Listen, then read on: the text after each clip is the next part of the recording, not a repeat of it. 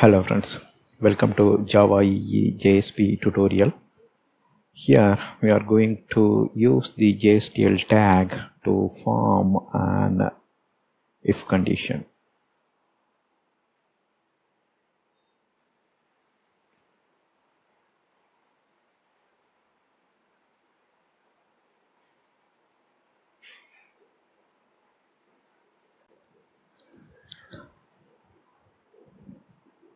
So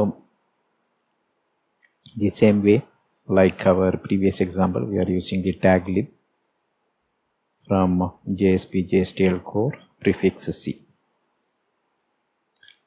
So after that we are opening a body tag. Inside so we already saw this. Using C set we declare a variable called num1 with value 10 scope is a page scope. That means that this variable can be accessed inside this page. And if you see this time we are using the C if. So this is the tag we are using.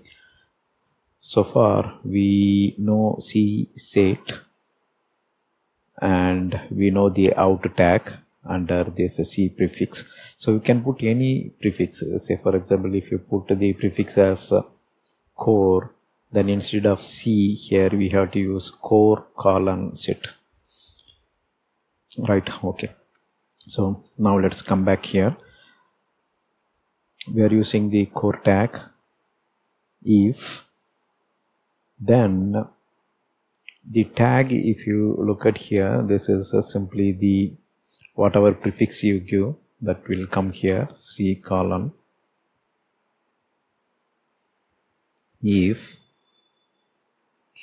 test attribute equal to so here if you place true then whatever you place here that will get executed. That means you have to end this if with the c colon if. So this body will get executed when this evaluates to true. Similarly if you see um, so the test should be the attribute name you have to use. So you, if you use something else it won't work. So the attribute is a test. The test attribute if it is holding the value true then the body portion of this tag will get executed. So here test equal to what we are doing. We are using the dollar symbol. We are accessing our variable greater than 5 if you see here dollar okay. Here we are not only accessing the variable we are forming an ex expression. This expression will evaluate to true or false because the operator here is a uh, comparating uh, comparison operator greater than less than equal to not equal to all the stuff you can use. So this is what called an expression. Why? Because the expression is formed using the binary operator. Binary operator operates on two operands. One is num1 here the other operand is a constant. Actually we are doing a conditional check here. This will evaluate to true or false. So when it evaluates to true we have a test equal to true. That means we are setting the attribute test equal to true so if that is the case then body will get executed. So here the body is num1 is more than 5 that's what we are printing. You can print whatever you want. So this is one way of using the if condition. Now let us look at the second way. The same way we are using uh, c if test equal to again same but here if you see we are using uh, one more attribute var equal to is high. So the so here you can see we are closing this. And here if you see see if we are not closing it we place a body after that we are closing that. So when this attribute set to true it will execute the body. But here we don't have any body but we are setting the condition output inside a variable. So the variable is is high all right now we are coming here. Some html content text. That means you can this is just to tell that the is high will now hold a value true previously the condition is evaluated and that is assigned to the attribute test right? So we saw this tag will execute the body when the attribute test equal to true. So we the output we assigned it to test. But here if you see test we are actually assigning the output to the variable just like here. But here we are saying var is high also. So the is high will also hold true or false. So after some point in time if you see if we are using this tag if tag test equal to this time we are using this variable content. So the, we know that this variable is high now. I mean the variable is true now. So to the test attribute we are passing the content of this. So that means this will assign true here. So we know that value 10 is greater than 5 so that is already assigned here as true. Now when we are assigning this to test test attribute will have true. So we are executing the body here. So the second method will be useful. Uh, inside the JSP file you can refer this variable many times so as many time you want you can refer.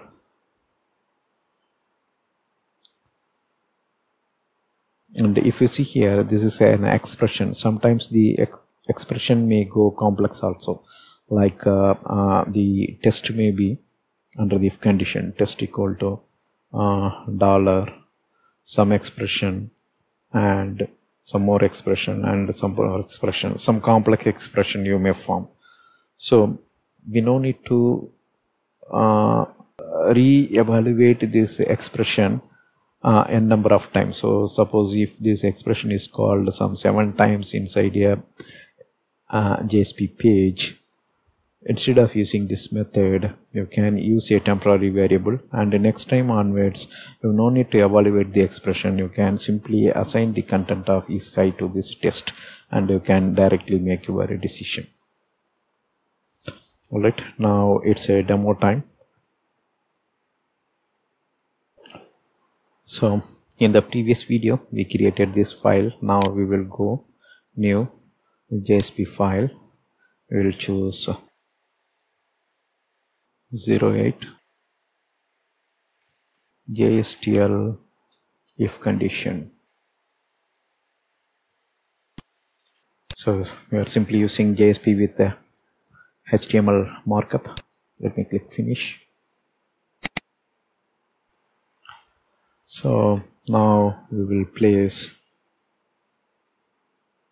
the first uh, statement to tell JSP that we are going to use the uh, JSTL core library and we will name that with a prefix C. So as already explained in the slide, we will place our body content. So these are all already explained in the slide. Uh, Alright, now we will directly execute it. No more uh, further explanation is required here. We will go for uh, full publish.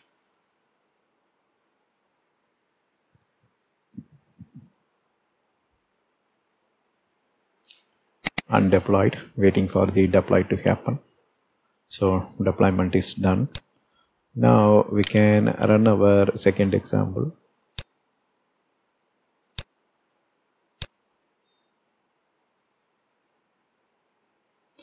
So it tells num1 is more than 5 num1 is more than 5 you can see how the if condition is executed here because value is 10 which is uh, greater than 5 so num1 is more than so this evaluates to true right? Now our test equal to true. Next we will come here and say some html content some html content then we are making use of this is high again. Test equal to is high then we are printing is high. Now let me do 3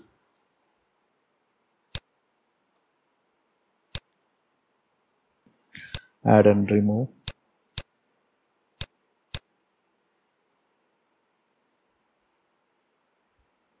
so now the condition will evaluate to false here. The attribute test will be set to false and we won't see num1 is more than 5 and the same goes true for here also. So all we see is some html content text. So we'll start the server. So it's started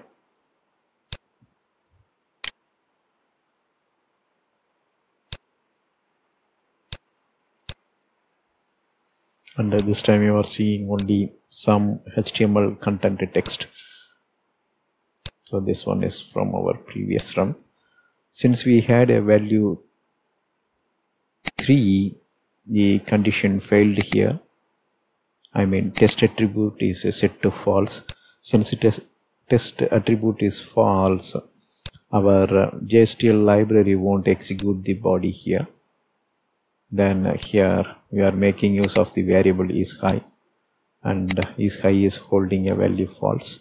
And the test attribute is set with false. The java standard tag library won't execute the body here.